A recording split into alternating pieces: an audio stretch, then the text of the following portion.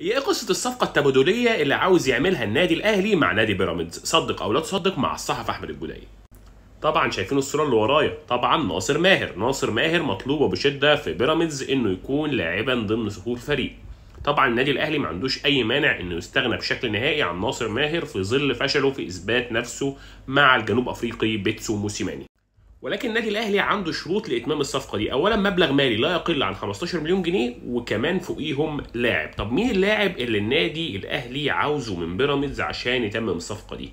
لو الأهلي هياخد 15 مليون جنيه فهيكون مع الفلوس حارس مرمى بيراميدز المهدي سليمان المطلوب وبشدة في النادي الأهلي ليكون خليفة لمحمد الشناوي أو بديل ليه.